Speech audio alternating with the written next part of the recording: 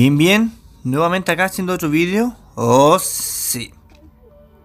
Vamos a analizar este punto que se había desbloqueado en el mapa ya. Ah, un segundo primero. Vamos aquí a ayudar a nuestros compañeros. Primero que nada, primero lo primero.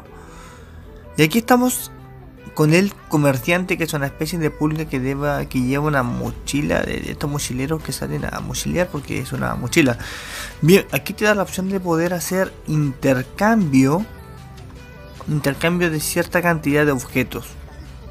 Puedes que tú necesites más o uno o el otro, pero siempre te van a aparecer productos totalmente diferentes o comprar con gemas ciertos productos que tú al comprar ese elemento te sale como un 20, 30 o quizás un 40% menos.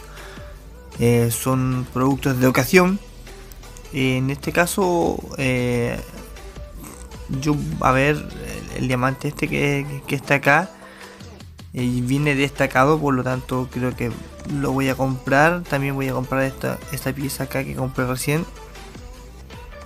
Estos ladrillos, por decirlo así porque lo que más me es lo que menos tengo y este rubí que dice se utiliza para rezar en el momento yo creo que lo voy a ocupar en su momento voy a comprar estos rubí todo, todo lo que sean piedras y cosas raras hay que asegurarlas.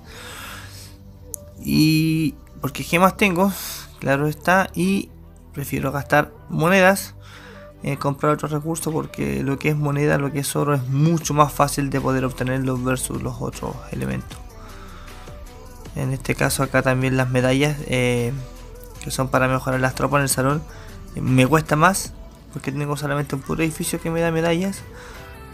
Así que yo creo que me voy a llevar estas medallas también para asegurar. Obviamente.